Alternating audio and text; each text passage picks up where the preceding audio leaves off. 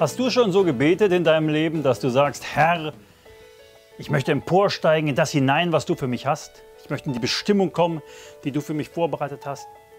Ich möchte aufsteigen in das Eigentliche. Mach mich stark. Bring mich vorwärts. In der Bibel lesen wir davon, dass er uns wie ein Adler aufsteigen lassen will. Und viele Menschen beten das, sie sagen, Herr, ich möchte genau so leben. Da heißt es, aber die auf den Herrn hoffen, gewinnen neue Kraft. Sie heben die Schwingen empor wie die Adler. Sie laufen und ermatten nicht, sie gehen und ermüden nicht. Und das wollen wir. Wir wollen vorwärts gehen, vorwärts kommen, aufsteigen und das, was der Herr für uns hat, ergreifen und in diesem Leben. Und weißt du, viele Menschen, die so gebetet haben, stellen als nächstes fest, dass ihnen Gegenwind begegnet. Richtig Gegenwind. Und oft verstehen sie die Zusammenhänge nicht und sagen, was ist das jetzt?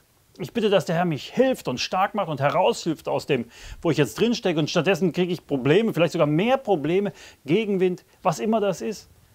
Kann sonst was sein. Beziehungsprobleme, Stress am Arbeitsplatz, vielleicht Mobbing, vielleicht ein Verlust von einem Arbeitsplatz, irgendwas. Gegenwind. Da gibt es die unterschiedlichsten Dinge, die einfach uns in unserem Leben wie Gegenwind begegnen. Es bläst uns entgegen. Und die Frage ist jetzt, wie gehst du genau damit um?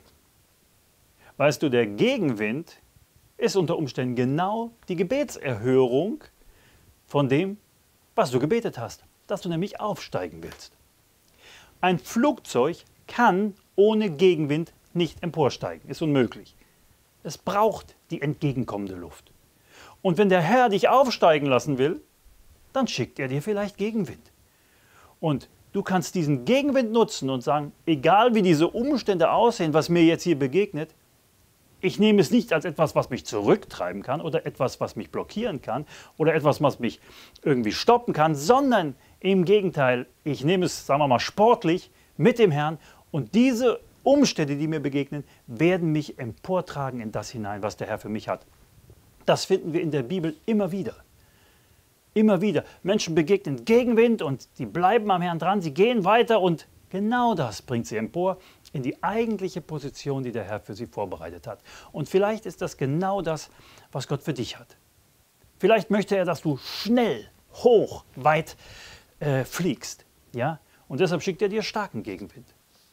Nehmen wir beispielsweise mal an, eine Person verliert ihren Arbeitsplatz. Das kann etwas sein, was einen Menschen vollkommen verbittert. Vielleicht schmeißt er den Glauben hin, sagt, der Herr hat nicht für mich gesorgt. Oder aber es ist etwas, wo ein Mensch sagt, jetzt erst recht für das Reich Gottes. Und er geht vielleicht auf eine Bibelschule und bereitet sich auf einen vollzeitigen Dienst oder sowas vor. Zwei unterschiedliche Situationen, wie wir im Grunde genommen mit Gegenwind umgehen. Und das meine ich. Nimm das, was dir widerfährt und sag einfach, egal was mir hier passiert, ich werde das Reich Gottes bauen, ich werde mit dem Herrn weitergehen, ich werde hineinkommen in das eigentliche, was er für mich hat. Ich werde nicht zulassen, dass mich das blockiert, sondern ich gehe weiter. Nimm die Umstände in deinem Leben als etwas, was dich hochbringt, was dich emporbringt.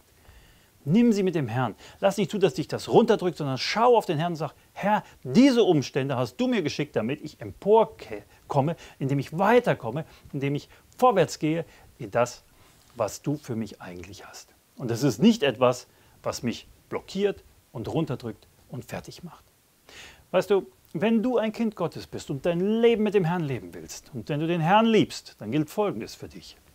Denen, die Gott lieben, dienen alle Dinge zum Besten. Denen, die Gott lieben, dienen alle Dinge zum Besten. Egal, was dir passiert, es dient dir zum Besten. Wenn du gesagt hast, Herr, ich möchte aufsteigen wie ein Adler, dann hat er dir Gegenwind geschickt. Oder das heißt, ist Gott für uns, wer kann wider uns sein? Oder ähnlich in dem Psalm, der Herr ist mit mir, darum fürchte ich mich nicht, was können mir Menschen tun? In dem Sinne möchte ich dich ermutigen, dass du den Gegenwind in deinem Leben nicht versuchst zu bekämpfen, sondern dass du sagst, ich werde ihn nutzen, aufzusteigen. Weißt du, ein Adler kämpft auch nicht mit dem Wind, sondern er lässt einfach von dem Wind sich emportragen. Und ich denke, du weißt in deinem Leben, was damit gemeint ist und wie du mit den Umständen am besten mit dem Herrn zusammenarbeiten kannst. In dem Sinne bin ich sicher, Gott hat mehr für dich.